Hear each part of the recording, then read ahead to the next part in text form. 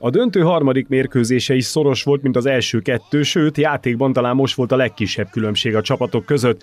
De hiába vezetett megint a volán, az apró momentumok, vagy éppen a szerencse, végül ezúttal is az Salzburg javára döntött, amely akárcsak az első ottani meccsen megint kettő egyre győzött, pedig a lehetőségei a Fehérvárnak is megvoltak. Nagyon sok helyzetet kihagytunk, nagy zicsert, ebbe nekem is volt egy pár sajnos, kapufák,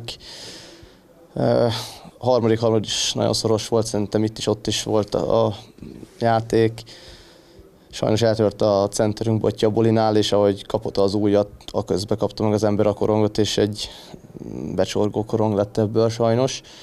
Uh, nem tudom, nem volt különbség, nem tudok erre mit mondani, nem, nincs külön, nem volt a két, a két csapat különbség, hanem ennyi egy szerencsés bottörés a végén, ami meghozta nekik a győzelmet sajnos. A döntőben így már 3-0-ra vezet az Salzburg, vagyis mostantól elég egy mérkőzés nyernie a végső diadalhoz. A hétfő esti fehérvári találkozón így nyilván a mieinket nyomasztja nagyobb tét, hiszen az összesített állás azért ott van a fejekben. A túléléssel játszunk igazából, kimondhatjuk.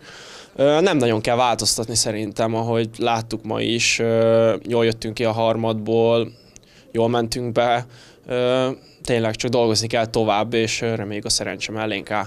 Mindig mondja mindenki, hogy ezzel nem foglalkozunk, de nyilván ezt mindenki tudja, és a, ott van a tudatban, de attól függetlenül ugyanúgy készülünk a következő meccsre, mint eddig, és eddig is a szezonban nyertünk négyet zsinórban, most miért ne tudnánk.